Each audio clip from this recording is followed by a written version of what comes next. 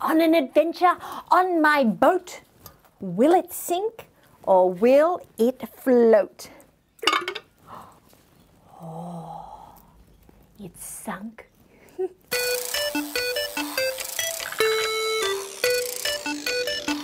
It's Tinker time. Hey, Tinkerers! I'm Nay Nay, and today on Tinker Time we are playing Sink or Float. So, all you're going to need is some objects that are interesting from around your house and a big glass or plastic jar of water. We like to be glass or plastic because that way we can see whether the objects are going to sink or float. Tiny Tinkers! Tinkers, Tinkers, Tinkers. Now, all you need to do to play is as I choose an object, you need to guess whether it will sink or float. Ah. So, what do you think about this wooden maraca? Let's see. wow! It's floating. You guessed it. Float! Next, let's try this rock. Ooh, what do you think, Tinkerers? Sink or float? Okay, here we go. Whoa, that definitely sunk straight to the bottom. Sink! Was it light as a feather or heavy as a feather? I can't remember. Let's see. Ah, it floats beautifully. Float!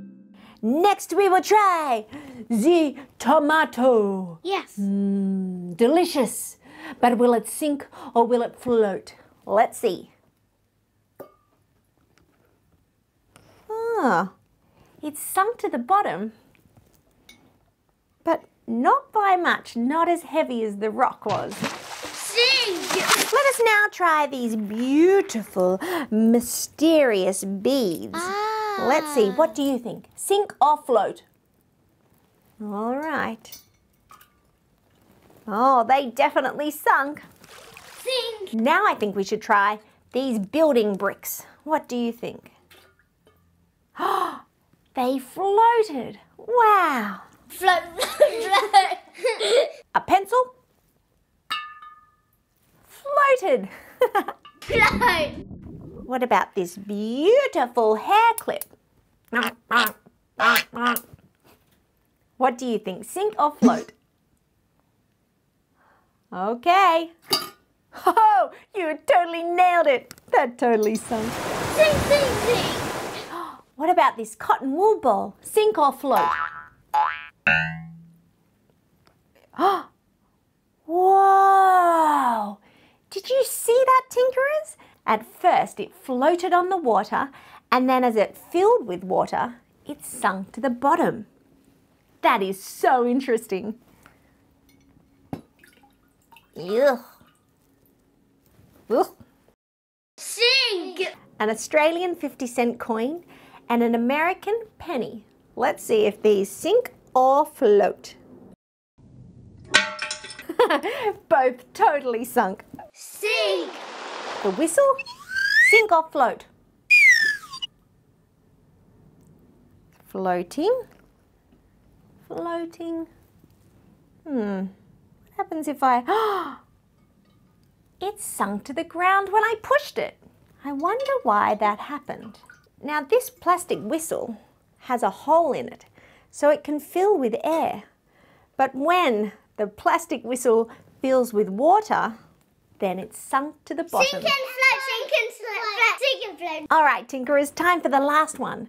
I have two eggs here. This one's uncooked. Do you think that they will sink or float? It's a tricky one. Good luck, eggs. Good luck.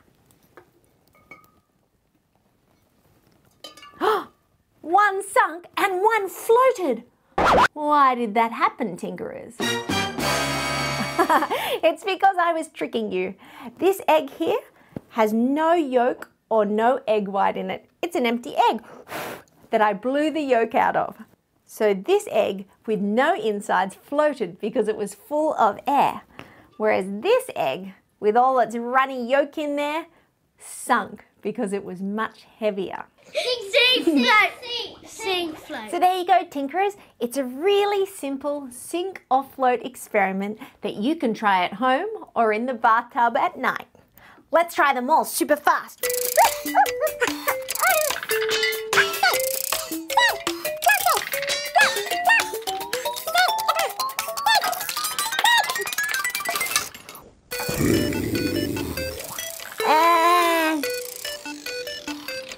Time. see you next week. Hey, hey, let's